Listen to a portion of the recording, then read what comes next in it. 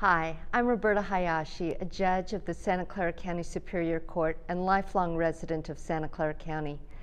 My earliest memories of an election are that in 1960 my parents bought our first television so that we could watch the Nixon-Kennedy presidential debates.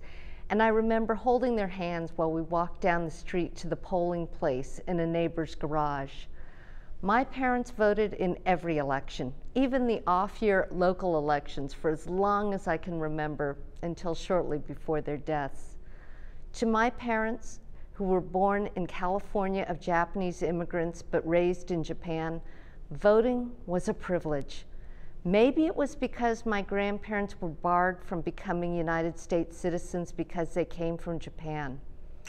Maybe it's because my father suffered the loss of the full benefits of citizenship when he was detained in a concentration camp during World War II.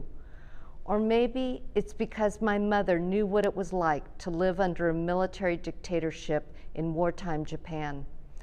There, there was no right to vote. My parents instilled in me a belief that voting was important, a belief that I learned as a child and exercised as soon as I turned 18. To paraphrase Gloria Steinem, voting is something I do to honor those who come before me and protect those who come after me.